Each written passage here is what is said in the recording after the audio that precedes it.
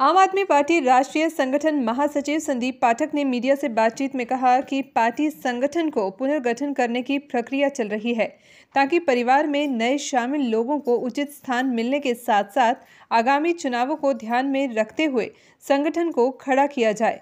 उन्होंने कहा कि चुनावी शंखनाद हो चुका है। प्रदेश में सभी पार्टियों को जनता ने मौका दिया है, लेकिन सभी राजनीतिक दलों ने उनकी उम्मीदों पर पानी फेरा है।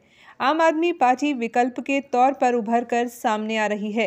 उम्मीद है कि जनता अरविंद केजरीवाल को एक मौका ज़रूर देगी। हरियाणा के चार जोन पे आम आदमी पार्टी की मीटिंग रखी गई है। ये संगठन की मीटिंग है। तो अभी आपने देखा होगा कि संगठन को पुनर्गठित करने की प्रक्रिया शुरू की गई है। उस पर पुराने संगठन को डिसॉल्व करके नए संगठन की संरचना की जा रही है। इसके दो मेजर रीजन थे। सबसे पहले तो परिवार काफ़ी बड़ी हो गई है। बहुत सारे नए लोग जुड़े हैं। उनको उचित स्थान देने की ज़रूरत थी। और दूसरी, अभी जो संगठन बनेगा, वो चुनाव को ध्यान में रखकर, उस पूरी प्रोसेस को ध्यान में रखकर बनाई जाएगी। तो आम आदमी पार्टी हरियाणा में जो आने वाली विधानसभा चुनाव है उसमें पूरी ताकत से लड़ेगी इस बार। और मुझे पूरी उम्मीद है कि इस बार हरियाणा अरविंद केजरीवाल जी को एक मौका देगी और आम आदमी पार्टी की सरकार हरियाणा में बनेगी। तो क्या बीजेपी ने जिस तरह से 2023 में भी 2024 की तैयारी शुरू की है आम आदमी पार्टी भी ऐसी तैयारी हमारी तैयारी तो शुरू ही है।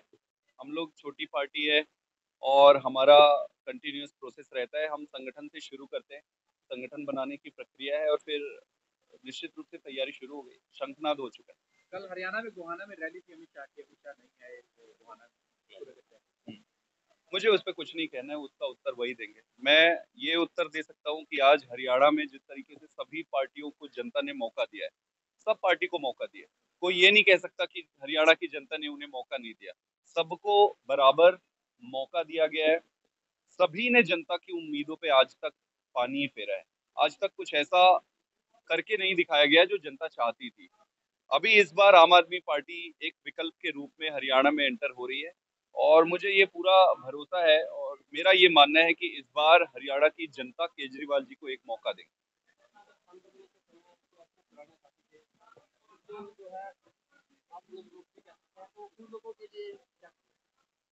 सारे सारे लोगों का स्वागत है।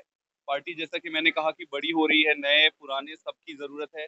जब आप सरकार बनाने की प्रक्रिया में लगते हो, सरकार बनाने के लिए चुनाव लड़ते हो तो सब लोगों की ज़रूरत पड़ती है, सबका स्वागत करेंगे।